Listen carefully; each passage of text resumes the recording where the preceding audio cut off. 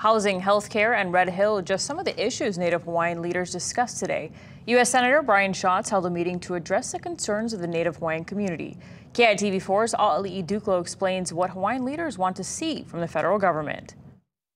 Native Hawaiian community leaders thankful to Senator Brian Schatz Wednesday for what they say he has done for the Hawaiian people, namely providing record funding of more than $270 million for Native Hawaiians since he became chairman of the U.S. Senate Committee on Indian Affairs two years ago. And it is just the beginning of what we need to accomplish. At the forefront of what still needs to be accomplished, housing for Native Hawaiians. Hawaiian Homelands Commission Chairman William Aila points to the latest data showing 15% of Native Hawaiian households experience overcrowding compared to 8% of other residents. I have three generations living in my household. Aila adds 1,300 acres of land would be needed to house the waitlist beneficiaries on Oahu alone. Federal agencies use 1,400 acres of Hawaiian homelands.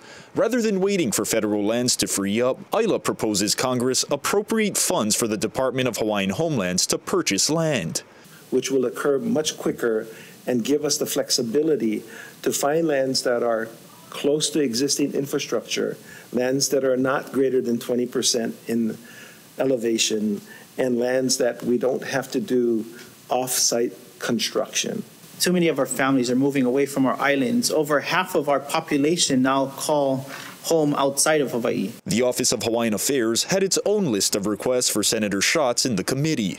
Persisting in the accelerated defueling and closure of the Red Hill fuel storage tanks.